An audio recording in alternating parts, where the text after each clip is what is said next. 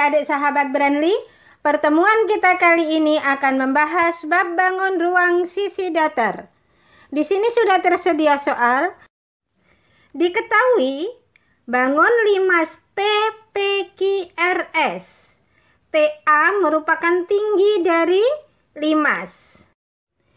TB adalah tinggi dari sisi tegak. AB setengah dari PQ. TPQRS adalah 5 segi 4 beraturan. Panjang PQ 12 cm.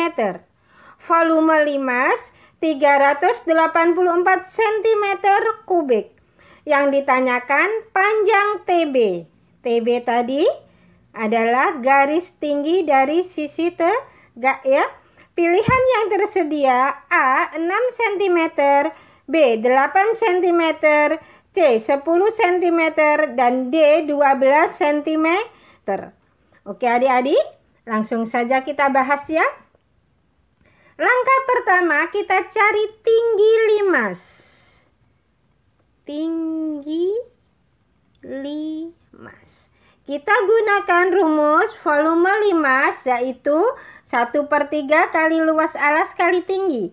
Sehingga tinggi limas sama dengan 3 kali volume limas dibagi luas alas. Sama dengan 3 kali 384 cm kubik dibagi luas alasnya 12 kali 12 sama dengan 1152 cm kubik dibagi 144 cm persegi sama dengan 8 cm. Langkah kedua kita cari panjang TB. TB kita kuadratkan sama dengan TA dikuadratkan ditambah AB kuadrat.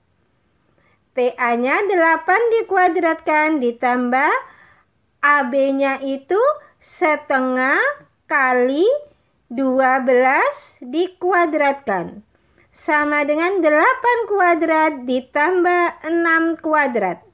Sama dengan 64 ditambah 36. Sama dengan 100. Itu TB kuadrat. Sekarang TB sama dengan akar dari 100. Sama dengan 10 satuannya sentimeter. Ini panjang TB-nya. Sekarang kita lihat di pilihan A 6 cm salah ya. B 8 cm juga salah. C 10 cm benar. D 12 cm salah. Jadi, pilihan yang tepat jatuh pada opsi C. Oke adik-adik, mudah-mudahan penjelasan kakak dapat membantu kalian semua dalam memahami soal-soal bab bangun ruang sisi datar. Oke adik-adik, salam edukasi.